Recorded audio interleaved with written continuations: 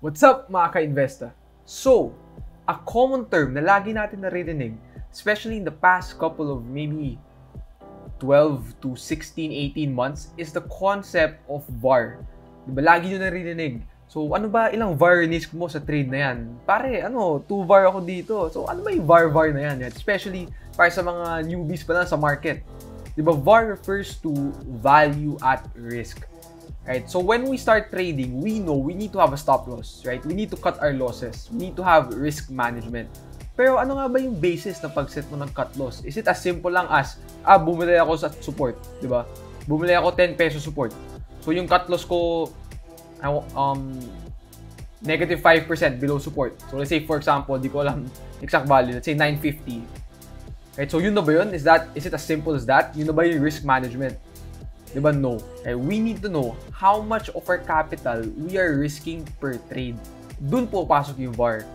Right? Basically, when someone says, I risked 1 VAR in this trade, that means that person is risking 1% of their capital on that trade. So, kung nagkamali sila, if they need to cut their losses, the maximum value amount is 1% of the total capital. So, if your portfolio is 100,000, 1 VAR or 1% of your capital is 1,000 pesos. So, dapat, per trade, yung max loss mo is only 1,000. And kung 2 VAR, edi 2,000. But the rule of thumb really is to risk only 1% of your capital per trade. Right? And maybe if it's high conviction, you can go up to 2 VAR. But more more likely than not, it's much safer to be 1 VAR or, or lower, 0.5 VAR pwede rin. But it can also go as high as 1.5 to 2 VAR. Right? So, is that where it ends? We just need to know what VAR is and then we're good to go.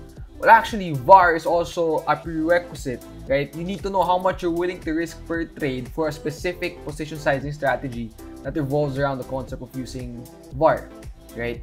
And that is something we are going to be discussing in a, a future YouTube video. But for now, always remember, right? VAR means value at risk, right? How much of your capital you're, you're willing to risk per trade And the rule of thumb is to only risk 1% of your capital per trade. So, lagi lang natin tandaan yan. And antabayan nyo yung YouTube video namin on different position on different position sizing strategies. So, kita-kits mga ka-investa.